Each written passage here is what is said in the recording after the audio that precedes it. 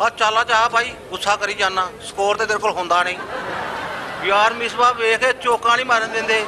ਉਹ ਜਾ ਐਡਾ ਤੂੰ। ਅਸੀਂ ਨਹੀਂ ਮਾਰਿਆ ਤੇ ਤੈਨੂੰ ਕੀ ਲੋੜ ਆ ਮਾਰਨ ਦੀ? ਚੱਲ ਖੇਡ। ਹਾਂ ਮੇਰੀ ਖੇਡਦੀ ਆ ਹੁਣ ਜੁੱਤੀ।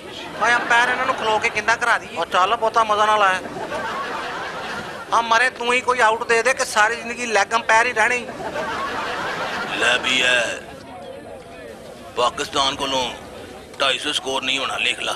ਮਿਸਬਾ ਖਲੋਤਾ ਹਲੇ ਜੋ ਮਰਜ਼ੀ ਹੋ ਜਾਏ ਹਲੇ ਫਰੀਦੀ ਵੀ ਆ ਹੋਰ ਉਮਰ ਅਕਮਲ ਵੀ ਆ ਬਸ ਦੁਆ ਕਰ ਸ਼ਾਸਤਰੀ ਉਹ ਆਂਡੇ ਤੇ ਆਊਟ ਹੋ ਜਾਏ ਹਾਂਜੀ ਉਹੀ ਬੋਲ ਆਂਡਾ ਓਏ ਓਏ ਉਹ ਸਪਿਨਰ ਨੂੰ ਬੜੇ ਛੱਕੇ ਮਾਰਦਾ ਦੇਖ ਲੈਨੇ ਆ ਬਸ ਉਹਦਾ ਹੀ ਮੈਨੂੰ ਡਰ ਆ ਓਏ ਰੋਟੀ ਆ ਗਈ ਆ ਕਿੱਥੇ ਆ ਰੋਟੀ ਮੈਚ ਤੋਂ ਬਾਅਦ ਅੱਛਾ ਰਵੀ ਸਾਹਿਬ ਤੁਸੀਂ ਵਕਾਰ ਯੂਨੀਵਰਸਿਟੀ ਦਾ ਮੂੰਹ ਨਹੀਂ ਵੇਖਿਆ ਢਿੱਲੀ ਪਾਥੀ ਵਰਗਾ ਹੋਇਆ ਲੈ ਬਈ ਮੁਸ਼ਤਾਕ ਟੀਮ ਭਾਵੇਂ ਪਾਕਿਸਤਾਨ ਚਲ ਜਾਏ ਮੈਂ ਨਹੀਂ ਵਾਪਸ ਜਾਣਾ